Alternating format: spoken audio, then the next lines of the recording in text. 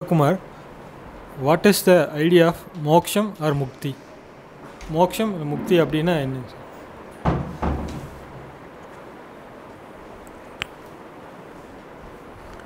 மோக்ஷம் முக்திங்க ரெண்டுமே ஒன்று தான் மோக்ஷ மோக்ஷ இச்சா மோக்ஷ இச்சா அப்படிங்கிறது தான் முக்தின்னு ஆயிடுச்சு. மோட்சம்னாக்கா விடுதலைன்னு அர்த்தம்.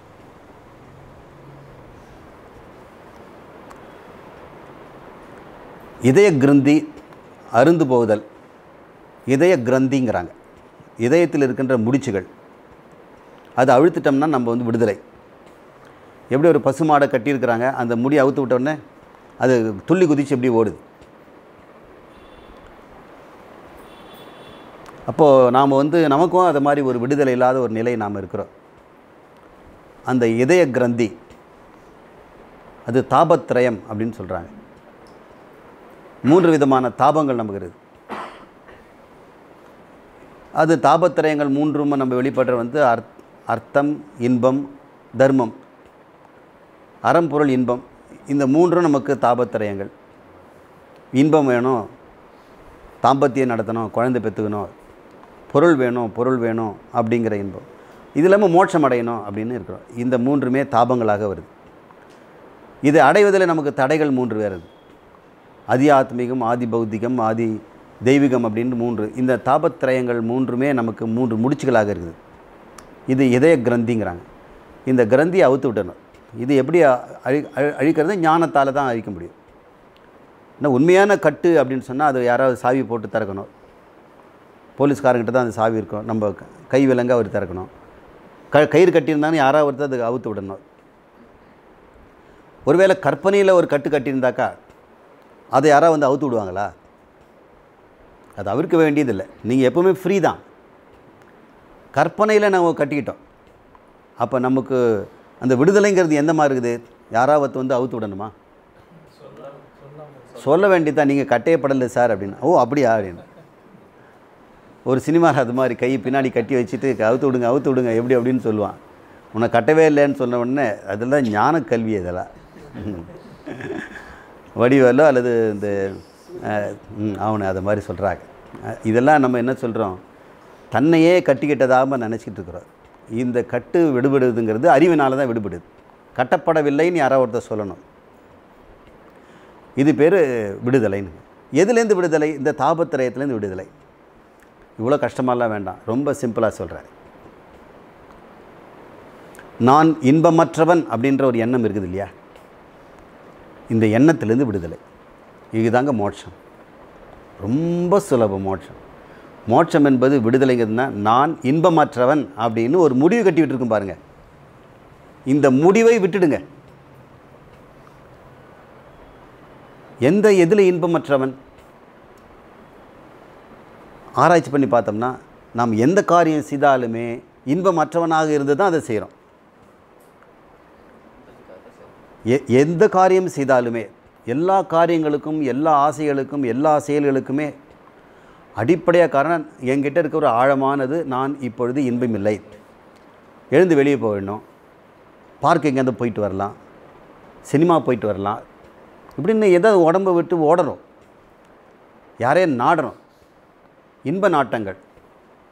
ஏதாவது போதைப் பொருள் வேணும்னு நாடுறாங்க. இசையை நாடுறாங்க. சில பேர் கோயிலுக்கு போகிறாங்க ஏன் அங்கே போகிறாங்க போகிறாங்கன்னா நமக்கு வந்து இன்ப குறைவு இருக்கிறது. என்கிட்ட ஏதோ குறை இருக்குது. அந்த குறையை ஏதாவது நிவர்த்தி பண்ணணும்னு சொன்னால் ஏதாவது செய்தாகணும். ஃப்ரிட்ஜை திறந்து ஏதாவது வாயில் போட்டுக்கணும். செல்ஃபோனில் ஏதாவது தேடி பார்க்கணும். யாராவது கூப்பிட்டு பேசணும். அல்லது கேம் ஆடணும். தன்னைத்தானே வெறுக்கிறோம். ஒரு நிமிஷம் கூட என்னோடு நான் இருக்கவே முடியல. என்கிட்டேருந்து விடுதலை எனக்கு தேவைப்படுது. ஏன்னா எனக்கு என்ன பிடிக்கல. என் மூஞ்சி பிடிக்கல என் குரல் பிடிக்கல என் பல்லு நல்லா இல்லை.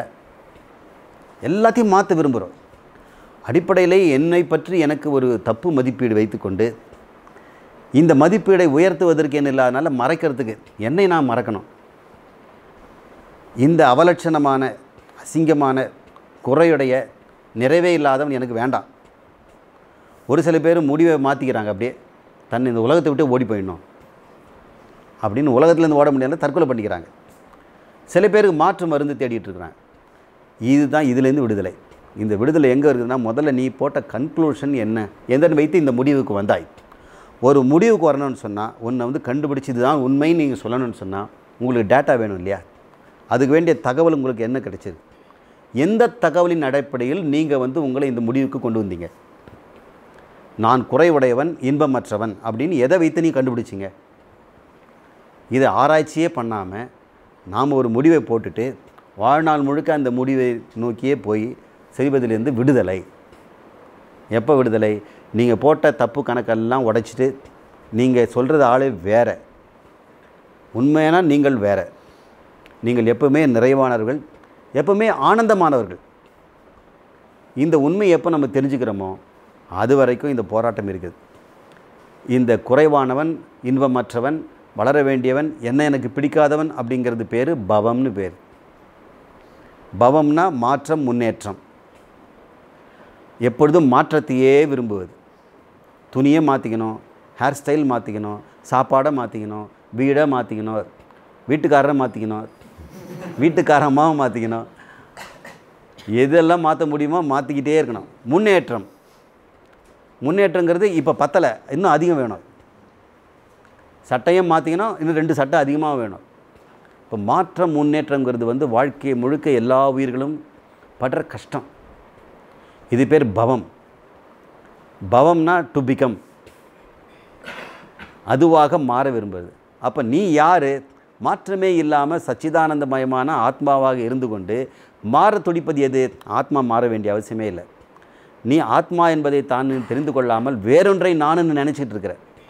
அந்த வேறொன்று நானுன்னு நினச்சதுனால ஏற்படுகின்றது அந்த உண்மையான அந்த வேறொன்று நானுன்னு சொல்லக்கூடிய ஒன்று உடம்பால் அளவுடையது காலத்தால் அளவுடையது பொருளால் அளவுடையது தான் அது உண்மைதான்.